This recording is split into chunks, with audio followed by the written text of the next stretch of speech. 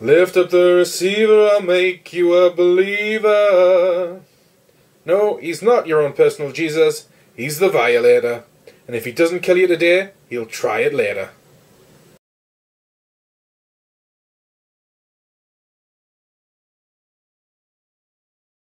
Today's action figure is the pizza eating, hard ripping clown prince of hell.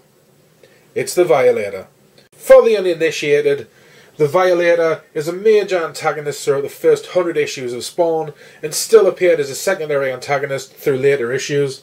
One of the five Phlebiac brothers, I think that's how you pronounce it, he is a powerful demonic being and servant of Malebolgia. Again, I think that's how you pronounce it. Each of the brothers possess inhuman strength and invulnerability, as well as telepathic, regenerative, possessive, and shapeshifting abilities, which the Violator uses to become a 5 foot 6 clown. And in the movie was played by John Leguizamo. The Violator, along with his brothers Vindicator, Vandalizer, Vaporizer, and Vacillator, little known fact, they have another brother called Vin Dieselator. He is the worst of all. The Violator is the eldest of the brothers and most prominently featured in the comics. So we're going to ignore the rest. As with most of the McFarlane toys I've had the pleasure of holding, the level of details are, to say the least, astounding. Just the, the, the, the minute detail that they go into is brilliant. As a Marvel Legends fan, I'm always happy with the level of detail that we get in Marvel Legends, but with McFarlane toys, you always seem to get just that little bit more. And something of the of the size of this, which is roughly seven and a half inches tall, they can really go to town on all the details. The paint is again brilliant. Nothing to really pick apart. Across the board, it's a beautiful paint job. Nothing to criticize at all. As the figure the figure itself has some wear and tear, but that's what you get with second-hand goods.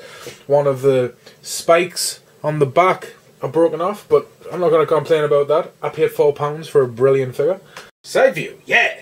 McFarlane ties win the detail battles, but obviously compared to my beloved Marvel Legends, they lose. They obviously lose the articulation battles. There's there's some articulation. There's more articulation in the Violator than there was in the Spawn by a huge margin. But still, not that much. Let's be honest. But despite that, it's still great. But let's show you the articulation.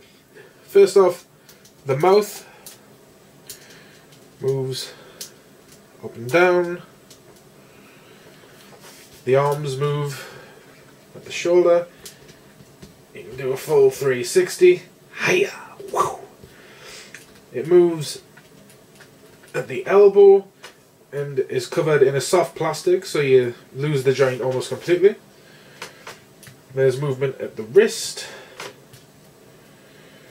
movement at the chest. It does have a an up and down, but it really doesn't stay.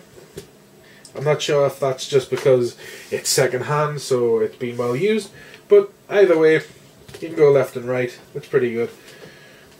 The hips swivel, no movement in the knees, a little left and right in the ankle, and that's pretty much your whole shebang, other than an articulated finger on the left hand, which would be used, I'm guessing, to hold the heart accessory that it came with originally. And for a quick size comparison, here he is with the pre-Legends Daredevil and the Marvel Select Juggernaut.